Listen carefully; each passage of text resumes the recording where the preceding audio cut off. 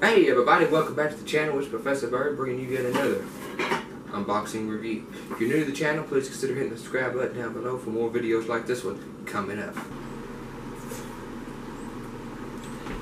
Oh man. Professor Bird's Reviews is coming to you. Bird's Tripping Reviews, products and contests too.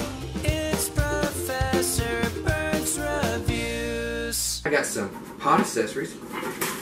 When you arrive, it arrives just like this. Now, I've done opened it up and taken the saran wrap off these, but this is what it comes. And you probably wonder why we're in the kitchen, because we're going to do a little cooking. When we first get it, this set comes with a really nice little egg container, little egg bites. You can also put store some other food in here as well. There is seven places, and it's got a cover to put on top of it. So you put it in the refrigerator. Cake pan made uh, for uh, cakes, brownies, and uh, you could even make some bread out of this. But what I like about it, the bottom comes out. So this will allow you to raise up the food without messing the, the sides up. And this is supposed to be a non-stick pan, so we're going to see how that works out as well. It's right down just like that and it works just fine. Um, so we're going to be using this as well today. First thing we're going to use is the little egg containers. I'm going to fill this up with some water and we're going to boil some eggs and see how it feels just, just to boil the eggs in this and see how it works. So I got the water ready to be boiled. I'm going to put it on the big eye right here, cracking the eggs.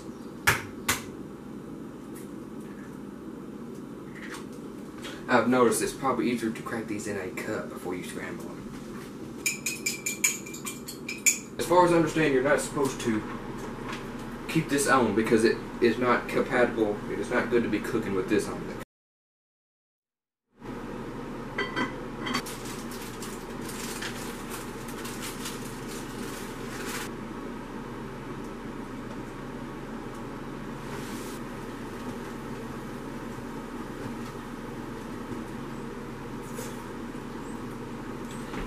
Oh man. They look really good and they smell nice. Hey, you see how slight that easy they came out? Watch this.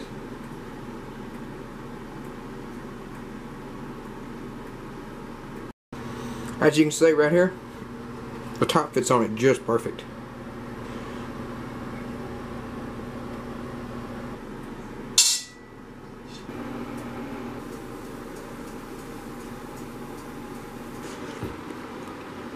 and that's good. So it takes about 20 minutes in that uh, doing it that way.